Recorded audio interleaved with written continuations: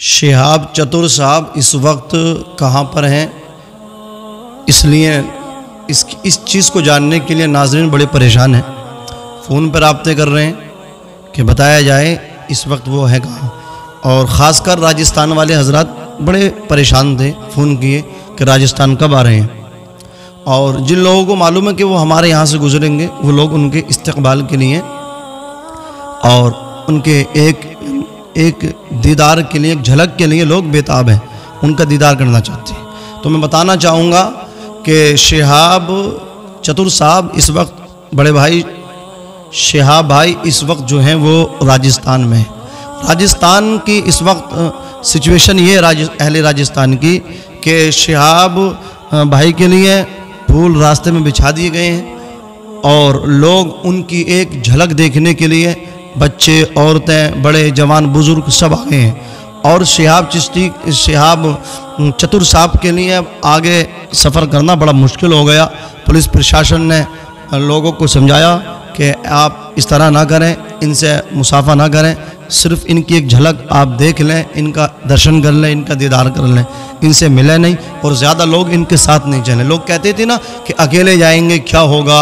अपनी जान को ख़तरे में डाल रहे हैं। जुल्म कर रहे हैं। तो आप समझे नाजरीन अच्छी तरह शहाब चतुर साहब अकेले नहीं चल रहे लोग उनके साथ चल रहे हैं उनके साथ काफिला चल रहा है। फिर शासन को मेहनत करनी पड़ रही है मशक्क़त कर, मशक्क़त करनी पड़ रही है और फिर शासन साथ चलता और मोहब्बत से प्यार से लोगों को समझाया जाता कि आप इतने इनके साथ ना चलें।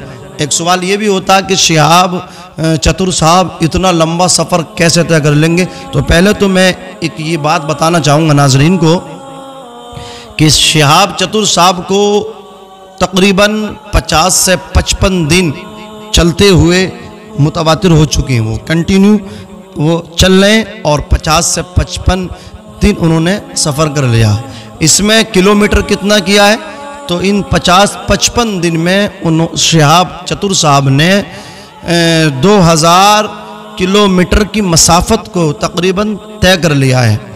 अब शहाब चतुर साहब की चाल किस तरह है, वो किस तरह चल रहे हैं तो सुने आप शहाब चतुर साहब के बारे में ज़राए से ये पता चला अखबारी नुमाइंदों से, मीडिया वालों से और भी जो सोशल मीडिया पर इस वक्त बने हुए हैं, देख रहे हैं, शिहाब चतुर साहब को पता चला है, मालूम हुआ है कि शिहाब चतुर साहब की चाल आम बंदों की तरह नहीं है, आम आदमियों की तरह चाल नहीं है। शिहाब चतुर साहब, मुफ्ती साहब इस तरह चल रहे हैं, जो उनके साथ चलते हैं, उनको दौड़ना पड़ता है। ये शिहाब चतुर साहब की चाल है। और ये ऐसा तो नहीं है कि आदमी अगर पाँच किलोमीटर पैदल चल रहे तो वो शाम को थक जाता है और उसको बहुत जल्दी वो सो भी जाता है। शहाब चतुर साहब, पाँच घंटा नहीं, पाँच दिन नहीं, मैंने कहा पचपन दिन तकरीबन वो चल चल चुके हैं और वो चलते हैं। और हमने पहले भी नाजरीन आपको बताया था, एक बंदा अगर पैदल सफ़र करे तो एक दिन में वो 50 किलोमीटर की मसाफत को तय कर सकता है। लेकिन शिहाब चतुर साहब 20 से 25 किलोमीटर की मसाफत तय करते, उसके बाद वो आराम करते हैं। अब शहाब चतुर साहब ने इसके लिए कोई ट्रेनिंग की, कोई तैयारी की? हाँ नाजरीन, तैयारी की। तैयारी वो आठ महीने पहले से इसकी तैयारी कर रहे थे। वो चलते थे। वो 20 से 25 25 से 30 40 किलोमीटर पर डे चलते थे। उन्होंने तैयारी की है। लोग जो मतलब क्या है, बड़ा दुख जता रहे हैं बड़ा दर्द जताने की कोशिश कर रही है, बड़ा गलत किया है, वो कैसे चलेंगे, कैसे पहुँचेंगे, वो कैसे चले जाएँगे? अभी तो वो मादरी वतन मुल्क हिंदुस्तान में, पाकिस्तान में कैसे जाएँगे?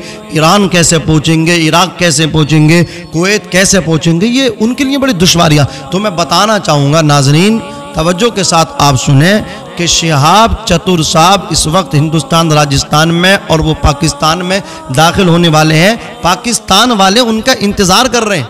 आप जाएँ फेसबुक पर आप जाएँ सोशल मीडिया पर, आप देखें वहाँ के अहल सुन्नत। मैं और लोगों की बात नहीं करता, जितना भी रद्द शिहाब चतुर साहब का हुआ है तो अहल सुन्नत की तरफ़ से नहीं हुआ, बल्कि हमारे अहल सुन्नत जो केरला के हैं, शिहाब चतुर साहब को वो गए, जिस तरह हम अपने यहाँ से हाजियों को विदा करते हैं, उनका इस्तकबाल करते हैं, उनको मतलब क्या है, आबादी से बाहर तक उनके साथ साथ जाते हैं। शिहाब चतुर साहब जब केरल से निकले हैं तो वहाँ के अहल सुन्नत अहल सुन्नत व जमात से ताल्लुक़ रखने वाले हमारे वो आए और उनको मुबारकबाद पेश की, इस्तकबाल किया और अल्लाह अकबर उनको इस इस अच्छे कदम पे मुबारकबाद पेश की सुन्नत केरला ने।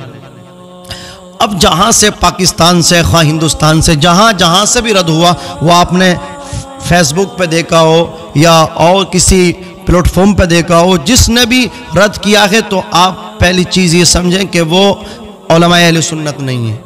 वो वो मतलब बद मज़हब है। तारीख मसूद है, वो बद मज़हब है। वो मतलब लोगों वरगलाता रहता।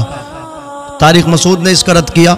और भी यहाँ कुछ लोगों ने रद्द किया है। तो या तो वो रावजी हैं, या फिर वो मतलब क्या है, अहल हदीस है। एक अहल हदीस तो मुफ्ती साहब ये कह रहा था माजल्ला के शिहाब चतुर साहब का ये अमल जो है कांवड़ियों की तरह। माजल्ला रबालमी बताइए आप। ये इतनी गंदी इनकी जहनीत है, अहल हदीस अपने आप को कहते हैं, ये अहल हदीस नहीं है, ये अहल खबीस इनको कहना चाहिए। ये हदीस को लेते हैं, जो इनके मतलब की होती है, उसको लेते हैं। इनका तो गोया ये मामला है कि कड़वा कड़वा थू थू, मीठा मीठा हप हप। जो हदीस इनके मतलब की आई, उसे ले लिया। जो मतलब की नहीं आई, उसको छोड़ दिया। तो शहाब चतुर साहब से आप इतनी बड़ी दुश्मनी रख रहे हैं आप उनसे इतना बड़ा, लोग अल्लाह अकबर उनसे इतनी मोहब्बत कर रहे हैं, और आप कह रहे हैं कि ये कावड़ियों की तरह, आप मतलब क्या एक मुनकर खुदा से एक अच्छे अमल को मतलब क्या है आप तशबी दे रहे हैं? अल्लाह, हिदायत, इनको क्या हिदायत मिलनी है जो नबी का नहीं है? वो किसी का क्या हो सकता है? जिसने नबी की शान में गुस्ताखी कर दी, हमारे ओलमा फरमाते हैं, उसे हिदायत मिल ही नहीं सकती। इसलिए कि जो रसूल पाक का ना हुआ, वो खुदा का नहीं, जो खुदा का नहीं, वो तो वो जहन्नम का, जहन्नम उसका इंतज़ार कर रही है। बहरहाल तो जहाँ जहाँ से रद्द हुआ है शियाब चतुर साहब का, आलिम, किसी ने भी हमारे सुन्नत ने रद्द नहीं किया, बल्कि शाबाशी दे रहे, मुबारकबाद दे रहे। अच्छा एक बात बताइए, अब कुछ लोग क्या कह रहे हैं कि ये शिहाब चतुर साहब ने अपनी जान को मतलब क्या है बड़ा जुल्म किया है, ये कैसे पहुँचेंगे? अरे भाई, ये एक बात मैं आपको बताऊँ, अच्छी तरह जहन नशीन कर लें। शिहाब चतुर साहब ने ऐसा नहीं कि झोला उठाया, कहाँ जा रहे हो? हज को जा रहे मुफ्ती साहब। हज को चलने नहीं, ये कोई, ये मतलब क्या गुड़िया गुड्डों का खेल नहीं है? हज को चलने आप देखें शिहाब चतुर साहब की मेहनत देखें। शिहाब चतुर साहब से जब अखबारी नुमाइंदे ने पूछा कि आपने ये इरादा किया आप हज पे निकले आप सवारी से जा सकते थे प्लान से जा सकते थे पानी के जहाज़ से जा सकते थे। आप नहीं ये मतलब क्या है? पैदल जाने का इरादा किया। बताएँगे रीजन वजह बताएँगे। तो शिहाब चतुर साहब ने ये कहा कि पहली चीज़ तो ये मैं जो हज के लिए जा रहा हूँ मेरा हज जाने का मकसद एक ये है कि आज आ, हमारे मुआरे में बड़ा बिगाड़ आ गया। नौजवान मनशियात के आदि हो गए। नौजवान शराब की तरफ़ भाग रहे, नशे की तरफ़ भाग रहे। बियर ने नौजवानों को हमारे बर्बाद कर दिया। ये फिल्मी पर्दों पर नज़र आने वाले मुंबई के बदतमीज़ गुंडे आवारा ओबाश, ओबाशों ने हमारे नौजवानों को बर्बाद किया। दूसरी चीज़ ये कि जो मनशियात के आदि हैं, जो मतलब क्या है, दीन से दूर है। शियाब चतुर साहब कहते हैं कि जो नमाजों से दूर है, मैं उनके लिए एक मिशाल राह बनना चाहता हूँ। शियाब चतुर साहब कहते हैं, जो आज नमाजों से दूर है, मैं उनके लिए एक मिशाल राह बन के बनना चाहता हूँ। मैं ये चाहता हूँ कि लोग मुझे देखें कि मैं केरल से मक्का, इतने ममालिक से होते हुए, मैं केरल से मक्का अल्लाह के घर को जा रहा हूँ। क्या लोग अपने घरों से निकल के अल्लाह के घर में नमाज़ अदा करने नहीं आ सकते?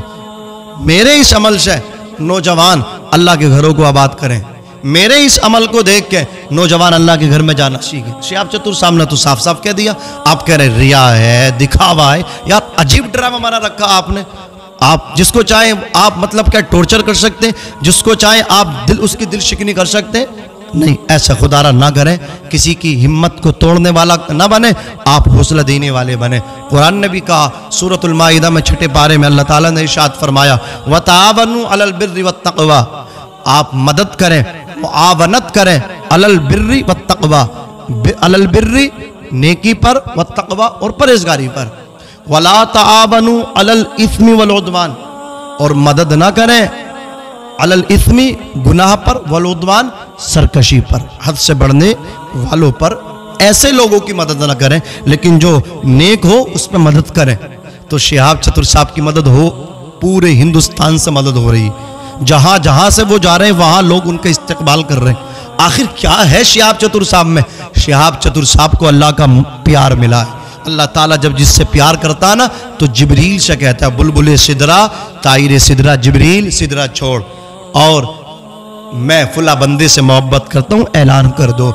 जबरील, आसमानों में ऐलान करते अहले आसमान। फुला बिन फुला से अल्लाह मोहब्बत करता, मैं मोहब्बत करता हूँ, तुम भी मोहब्बत करो। जबरील का नजूल इजलाल फिर ज़मीन पर होता है। अहले ज़मीन से कहते हैं, ज़मीन वालों, रब, मैं अहले आसमान सब इससे मोहब्बत करते तुम भी इससे मोहब्बत करो। शिहाब चतुर साहब, तुम बड़े मुबारकबाद के लायक हो।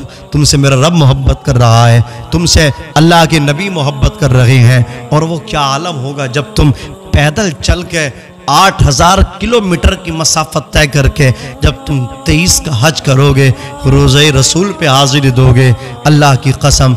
तो शिहाब चतुर साहब, ये अल्लाह अकबर, तुम्हारी खुशी मेरे नबी पाक सल्लल्लाहु अलैहि वसल्लम का प्यार तुम्हें मिलेगा और तुम सारी थकन भूल जाओगे जब तुम काबे की काबे पर नज़रें डालोगे। आला हज़रत ने कहा था, हाजियो आओ, शहनशाह का रोजा देखो, काबा तो देख चुके, काबे का काबा देखो।